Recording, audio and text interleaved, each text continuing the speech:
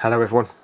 So, a few people have asked me how I modified my um, lock screen to get rid of some of the icons on there.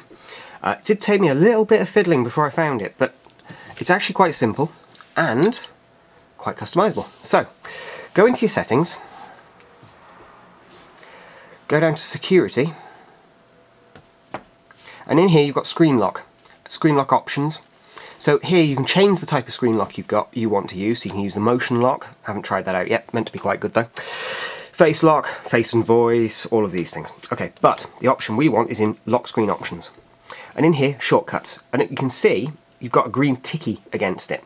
If you then click on that, it will take you into set shortcuts. And you can see there one, one of your icons. You can set any icons you like. Obviously I would suggest removing any of the ones that give people access to personal information, like the email one, for instance. I think the camera ones generally are right. You know, you've got to be careful with it because at the end of the day, anyone who picks up your phone can access those apps quickly. Um, so you know, use a bit of common sense and only put the ones on that. Oops. You're not too worried about people accessing. It's just stalled a little bit there. Okay. I think it generally depends if you're someone who's a road warrior, so there's a chance someone might be able to access your phone um, when you're not around, or whether you're someone who just sits in your house all day and so you're not really worried.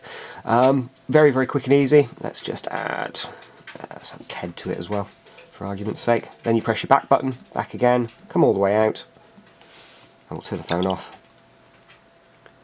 And there's our icons. Quick and easy.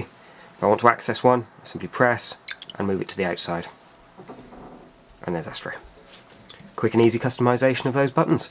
Um, it's a shame there's not a few more options like being able to move them around into different places and things like that, but hey, it's nice to have those features, but like I say, use a bit of common sense, don't put anything on there that you wouldn't want anybody to be able to access at the end of the day. I'm now going to go and change some of those options.